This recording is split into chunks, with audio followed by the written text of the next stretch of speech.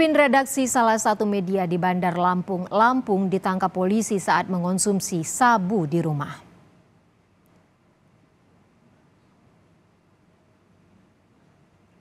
Penangkapan ini berawal saat polisi akan menangkap pelaku pencurian dengan pemberatan yang dilakukan oleh seorang ibu rumah tangga. Saat akan ditangkap, pelaku pencurian tengah mengonsumsi sabu dengan dua tersangka lainnya, di mana satu di antaranya adalah sang suami yang merupakan pemimpin redaksi salah satu media online di Bandar Lampung. Dari tangan para pelaku, polisi menyita barang bukti berupa alat isap sabu atau bong dan beberapa paket sabu serta uang tunai sebesar 10 juta rupiah.